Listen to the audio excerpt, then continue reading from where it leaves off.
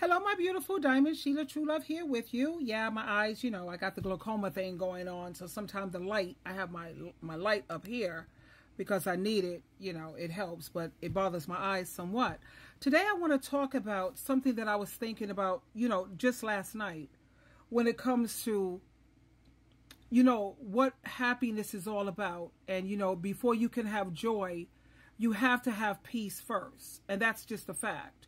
Now, you have a lot of people who feel that money is the key and the secret to happiness, which I disagree with that very strongly because, you know, there's been times when I've made six figures and I've had the money thing where I can just go shopping and I don't have to look at the prices. I just see what I want. I pick it up. I don't care what, what how much it costs.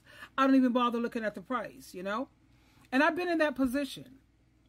And then I also think about, you know, you have a lot of millionaires and billionaires who have committed suicide or hara-kiri. So this is just the fact that money does not buy happiness. And what I've come to realize is what life is all about in terms of happiness is fulfillment. You know, you have to find things that you're passionate about and what brings you fulfillment. At the same time, before you can have joy, you have to have peace. Keep in mind, joy is one of the fruitages of the Spirit.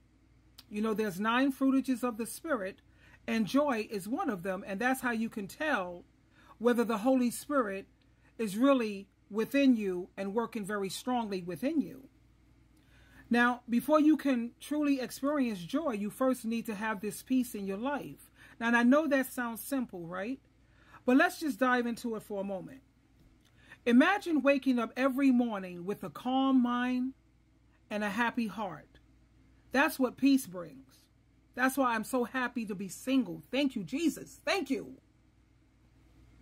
You know, it sets the stage for joy to come bursting into your into your life like a like confetti at a party when you can wake up in the morning and you have a calm mind and a happy heart.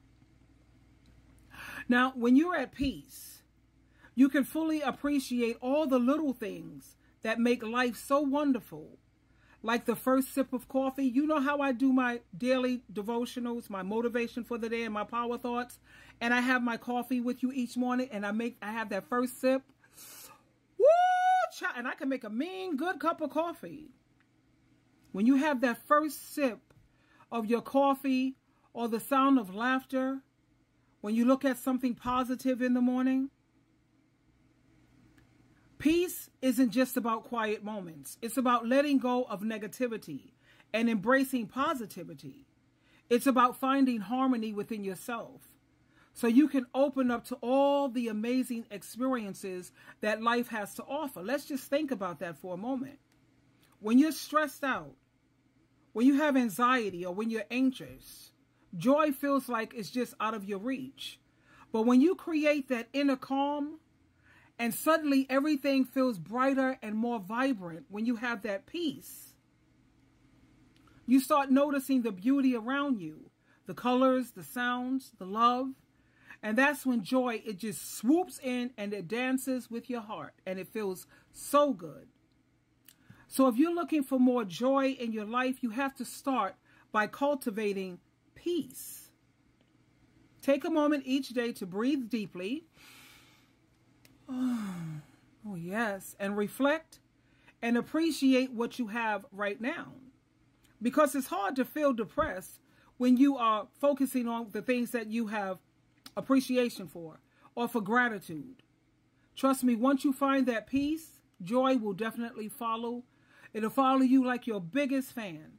So you need to make it your goal to fill your life with both peace and joy. But remember, before you can receive that joy, darling, you have to first make sure you have a peaceable, your home is supposed to be your, your sanctuary, your place of peace. You don't want to come home arguing, bickering, fussing, fighting, wondering, is he cheating? Is she cheating? Who's doing what? You've gotten involved with someone, now you got to worry about whether you have STDs or whatever the hell. You're constantly bickering and arguing. Somebody who's abusing you, if it's not mentally, it's emotionally or, or, or financially or physically. That takes away from your peace. And without that peace, baby, joy Good luck with that. You have a lot of people who have moments and spurts of happiness, but happiness doesn't last. Joy is something that's internal and it's something that lasts so much longer than little spurts and pieces of happiness and a little laughter here and there. Mm-mm. Keep in mind, you have to create an environment around you that's going to bring you peace. You know, stress is nothing to laugh at. Stress is something very serious because stress causes heart attacks, it causes strokes, it leads to death.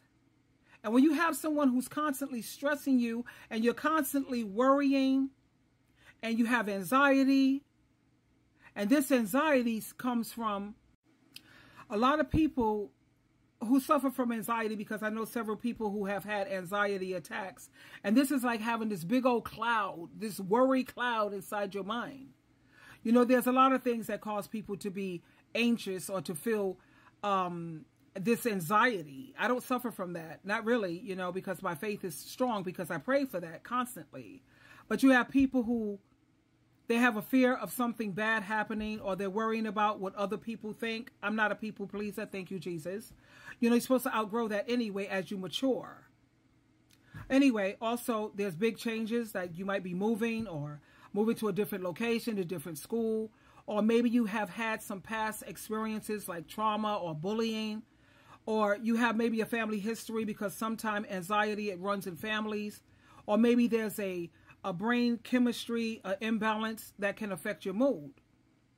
You know, but when you depend on Jesus Christ and you put your trust and your faith in Jehovah and Jesus Christ like you should, you'll come to see that you don't have those same worries that are people who are not on Jesus Christ's team. It's different for you. Now, to build this faith, I'm not going to say it's easy and it's like it's just an easy walk in the park because it's not. I had to pray fervently, tears and all. But finally, I got that faith, and it feels so good. It feels so good to know that you have someone who's going to always have your back, someone who's always going to love you, protect you, provide for you, educate you, and guide you always. Like Jesus Christ said at Isaiah chapter 54, verse 5, Jesus Christ said, I am your real husband. And anyone who belongs to Christ, genuinely belongs to Christ, he got you. He got your back, baby. So, if you're hoping for this joy, which is this inner thing and it's beautiful, that's not going to come from money or material things because, as we know, Whitney Houston, Elvis Presley, Prince, Michael Jackson, they got yachts, they got a, a, house in Malibu, one place in Dubai, over there in California, hanging out in New York. And what good did all of that do them? They were strung out on drugs, abusing alcohol, misery. So money is not the, the, the answer when it comes to happiness, peace, and joy. Absolutely not. It's all about fulfillment. It's all about building your faith and your trust and dependency on your Lord. And guess what else he is? Your Savior in every sense of the word. Twinkle, twinkle, twinkle.